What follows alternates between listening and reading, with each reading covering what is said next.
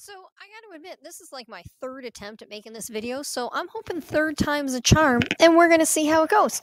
Uh, so what we're going to talk about are gradient vectors and directional derivatives. And I'm going to try to make this short because it's a video and we can't, you know, talk about it like we would in class. So the first thing I'm going to go with is what is a gradient vector? Well, as the name implies, a gradient vector is a vector, and that's important to know. Um, and the gradient vector is made up of components are partial derivatives.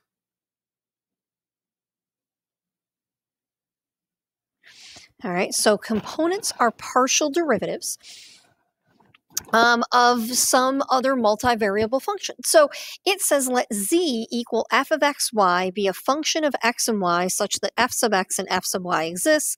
Then the gradient of f denoted by this upside down triangle called the del, um, del f, is the vector del f of xy equals f sub x of xy and f sub y of xy. Long story short, you have f sub x first and f sub y second. Okay, or you can think of that as d z to x first and d z to y second. That's it. It's really just taking the two first partial derivatives and making them the components of a vector. And you can do this with more components. If you had a function of three variables, then you could have a gradient vector that would have three components. All right. So if I wanted to find the gradient of f of xy for the function radical 2x minus y, and then evaluated it to 1, I'm just going to follow the rule at first. And we'll talk about what that rule gives us in a little bit. So if I wanted to find grad f of xy, I need to take my partial derivatives. So the derivative of 2x minus y to the 1 half with respect to x is going to be bring down the power, reduce it by 1, multiply by the derivative of the inside with respect to x. And then the derivative with respect to y is going to be quite similar. And then times the derivative of the inside with respect to y gives me a gradient vector of, let's see, those would cancel. This is going to be 2x minus y to the negative 1 half, comma, negative 1 half 2x minus y to the negative 1 half. Okay, so there's the gradient vector in terms of x and y, and what you'll notice now is that I have a vector, and this vector has variables in it. Those variables are x and y. No big deal. Then we're supposed to evaluate that at the point 2, 1. So now I'm going to plug 2 in for x and 1 in for y. So that's going to be 3 to the negative 1 half and negative 1 half, 3 to the negative 1 half, and that just looks ugly. So I'm going to write it as 1 over radical 3, comma negative 1 over 2 radical 3. Or if I wanted to even do more than that, I could pull out this guy and do that. Any of those are fine. I don't care which one you pick. Okay, whatever that means, I did it. Yay! I know what it means. I'm just pretending I don't know what it means because you don't know yet. Okay, it's it's the little game we play. All right, well, what if I had to do it again for another function that's got an ln in it? Yay! Um, at the point 1, 2 again.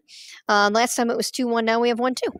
No big deal. So if I want the gradient, the gradient of f with respect to x and y, is going to be first the derivative with respect to x. This is going to be y times 1 over x plus y squared. There's the derivative with respect to x. And now the derivative with respect to y is going to be ln x plus 2xy. Okay. I'm supposed to evaluate that at the point 1, 2. So the gradient at the point 1, 2 is going to be, let's see, 2 times 1 plus 4, and then ln 1 plus 2 times 1 times 2. So the gradient of f at 1, 2 is going to be 6. ln of 1 is 0, 4. Cool. I mean, okay. What is that though? And to answer that question, before I do it and just hand you the answer, we are going to pull up some 3D graphs. So let me pull up GeoGebra here.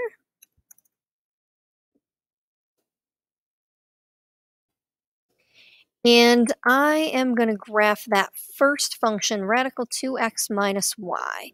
So z equals um, the square root of 2x minus y. And I get this thing. Cool. Cool, cool, cool. So, what am I going to do with this? Well, so if I look at this here, what I have is this happy little graph. Now, we were supposed to evaluate that graph at the point, let's see, 2, 1, and find the gradient vector. Well, let's see what that does. So if I evaluate this at just regular 2, 1, that's going to be the square root of 3. So if I find the point 2, 1, radical 3, there's that point on the graph. And then if I'm supposed to take that point and the vector I get is the vector 1, negative a half times 1 over radical 3. Basically, I'm going to the right and down. So let's see. If I orient this, okay, like that, I got to move my face out of the way here. This red axis is X, the green axis is Y. If I orient that like that, and then I tried, my face is just always in the way here, isn't it? Let's find a color that'll show up. That'll work. So if I start at that point A and I go in the positive X direction, but the negative Y direction, I'm going like that. And if I think about what that would mean for the curve, I would be going up on the curve. Okay, fine. Now, what if I switch to that other function? The other function being y ln x xy squared.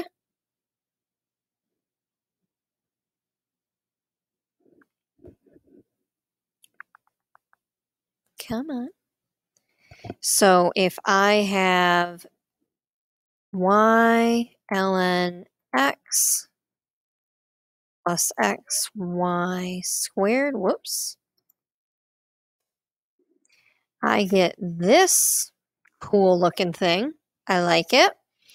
In this one, we were at the point one, two. So at the point one, two, this would be zero plus four would be four. So the point one, two, four.